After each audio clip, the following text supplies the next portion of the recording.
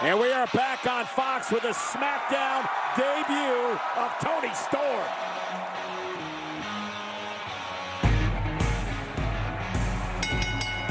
The following contest is a women's division match scheduled for one fall. Making her way to the ring from Gold Coast, Australia, Toni Storm.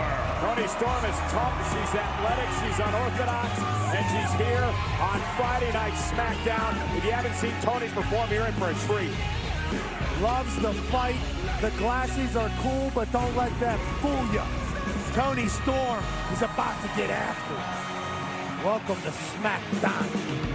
Toni Storm. And Friday Night SmackDown on Fox is sponsored by Progressive Insurance, saving you bundle auto, home, or motorcycle insurance.